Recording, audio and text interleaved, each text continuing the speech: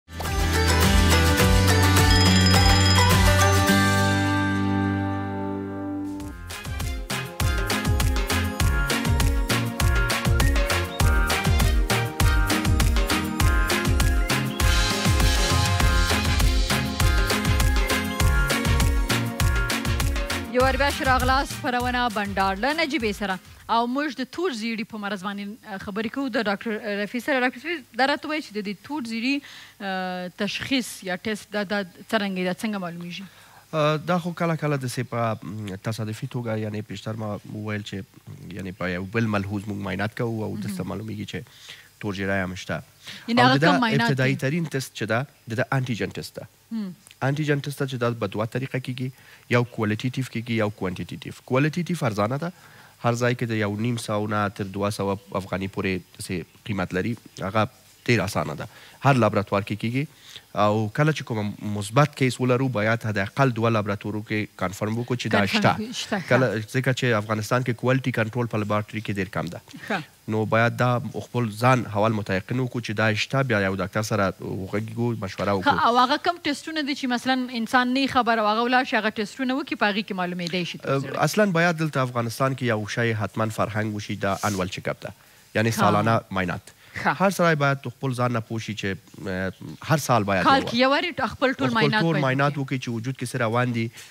کومه مشکل دی دا باید اصلاح وکی هر سی چی ده ښه. باید اجست وشی صحیح. او دوم معاینات چی ده دا تور ژیری ده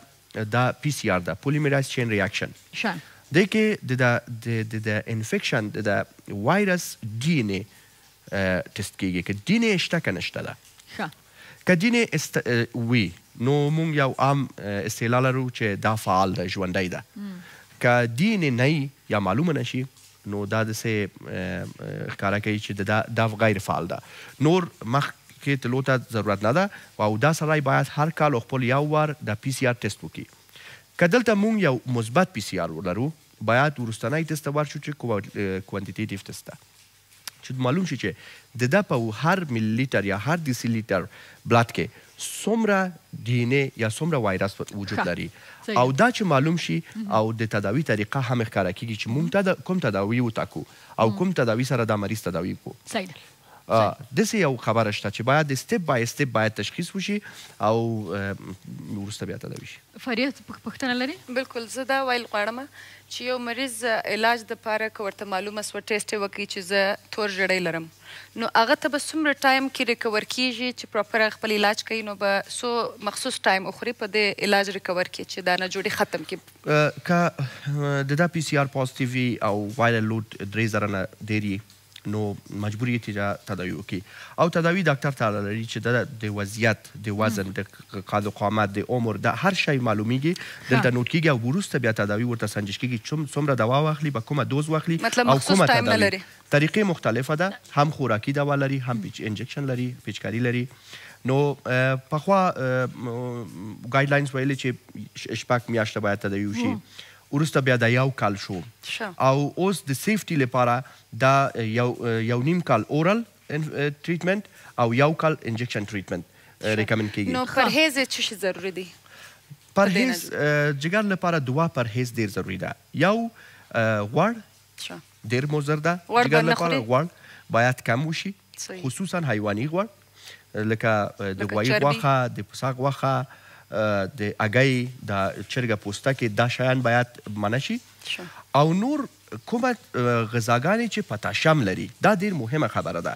جګر چې دا پتاشیم سره د ده وظایف ډیر کم ډیر خرابیږي مثلا پتاشیم دار غذا کوم یو دي دا تور غوښ ده تور لوبیا ده هغه سره لوبیا ده کچالو ده زردک ده کیله ده بانجان رومي ده دا به خوري که بې نه خوري؟ نه بيا دا بيا بايد ونه خوري. مطلب دا ټولو شيانو سببونه دي؟ دا ټول شيان نه ځان بايد موږ تر څو چې کوای شو د جګر د هينه وظايف بايد کم وکړو فشار ورباندې کم وکړو. مخصوص کوم خوراک بايد وکړي هغه انسان؟ ډير زيات چې فايده کوي ستروس دار ميوه جات فايده کوي. خلي ميوه. ميوه جات د ستروس چې ولري لکه مالټې لکه کينو دي لکه پروټرس دي سنګتره دي دا شيان ډير ښه دي او کيوي. دیر خدی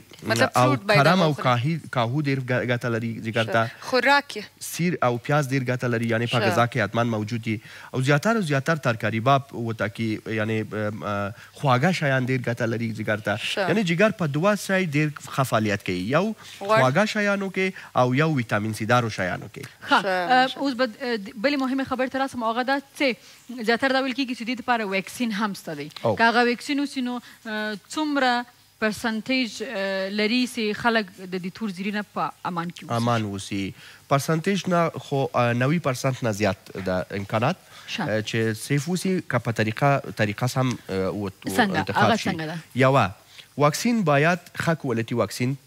انتخاب شي چې دا کولډ چین د دا واکسین چې دا یو کولډ چین لري ښه یعنی په یو ریفریجریټر کې انتقال کیږي او دا نه د باندې ونه شي اته درجو نه زیات نشي د حرارت حرارت اته در سانټیګریډ نه زیات نشي یو خبره دوم د د کمپنی سي برانډي یعنی یو ښه ملټی نشنل کمپنی د دای واکسین یعنی هر واکسین هم کار نه کوي او دا درې درې وار باید کیږي لومړی کله چې د دا تست وشي چې دا منفي ده یو واکسین کیږي یو میاشت بعد دوم واکسین کیږي او د دوم میاشت نه شپږ میاشت وروسته دریم واکسین کیږي چې دا فاینل ده خاصه ده او دنه یو میاشت بعد باید مونږ د خپل وجود انټي باډي ټایټر د هپاتایټس بی لپاره سنجش وکړو چې زمونږ وجود کې د دا لپاره څومره اسلحه جوړ شوې ده ښه څومره دا باید اوه سوه پنځوس نه جي کې که اوه سوه پنځوس نه ټیټي با یو بیا درې میاشتې وروسته یو نور بوستر دوز لګول کېږي او بیا او د دې نه به موږ ته دا معلومه شي چې یعنې موږ د ښه کمپني او صحیح واکسین نه دی اخیستی ښه کمپنی او صحیح واکسین باید واخلو دا په پام کی یی او نه وایم که که ونه شو د ونیم سو نه تاسو ویلی چې هغه کمی نو بیا معلومه دار چې کوم واکسین موږ واکسین خراب دی ښه دا راته وایي چې ډاکټر صاحب چې دا واکسین که صحیح واکسین ولګیږي نو دا بیا د څومره وخت لپاره موږ سیف کوي یعنی محفوظ یو موږ دا میډیکل او نان میډیکل استاف لپاره فرق کوي. نان میډیکل استاف باید هر پنځلس کال وروسته یو بوستر ډوز ولګوي. هر پنځلس کال وروسته چې د دا واکسین بیرته ریفریش شي. دا بوستر ډوز ده. او میډیکل استاف چې ده دا پنځو کال نه تر لسو کال نه وروسته دا که وخت وشي که د دا پام یې د یاد نه نه ده تللی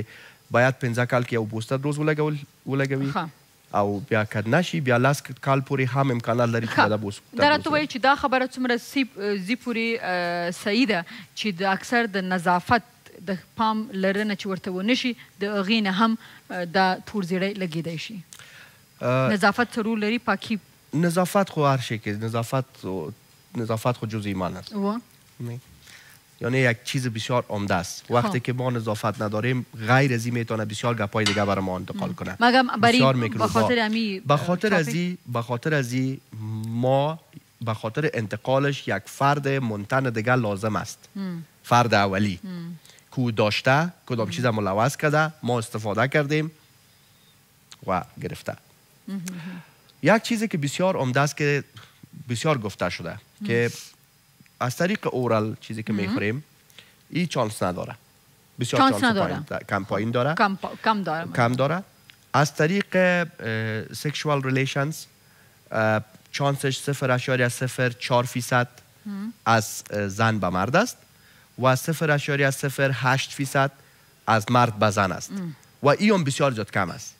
یعنی به تناسب اچ آی وی اگر فکر کنیم بسیار پایان است چون او هم یک ویروس است ای هم یک ویروس است او هم کرونیک است ای هم کرونیک است نه انالو ای چانسش بسیار زیاد پایان است صحیح یو اوس دا راته وایي چې هغه خلک چې تور زیړی تیر کړی یا تینه تیریږي څنګه خوراک باید وخوري وخت کم دی زه یم چې لږ جلدی وبه کړي. خوراکونه باید ما مخکې هم وویل چې خوراکونه دوه شی باید پام کې ولرو چې یو غوړ شیان ونه خورو. نو هغه خو به نه خوري خو کوم شیان چې وخوري باید. شیان چې وخوري ستروس دار میوه جات ده. میوه جات ستروس دار ده لکه مالټه، کینو، کیوي دا شیان ډیر ګټه لري. سیره او پیاز ګټه لري. سیره او پیاز یعنې په دیګ کې په خواړه کې په یعنې هر حالت کې ګټه لري هینه لپاره ښه دي خواږه شیان ښه دي نور کاوو کرم ډیر ښه ده مایعات اوبه. اوبه. اوبه او د مېوه جات طبیعي جوس. جوس. طبیعي جوس دا د پک نه دا چې طبیعي جوړېږي دا فرش جوړېږي نه دا ښه دي او یو شی در تاسو ته به ووایم چې پتاشیمدار شیان نه باید حتما پرهېز وکړي او دا پتاشیمدار کې مېوه جات هم شته لکه لکه لکه ام لکه کېله دا پتاشیم لري ډېر های او زردک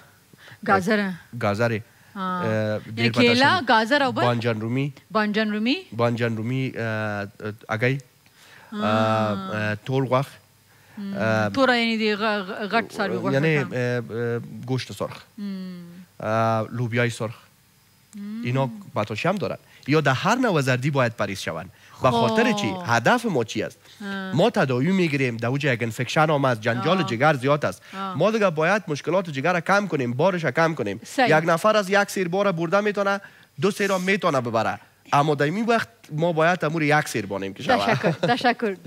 تشکر ډیر زیاته مننه ام دې سره دماغ لو به تر اسانه کیګو د ډاکټر یاسمین سره دماغ لو به تر اسانه کیګو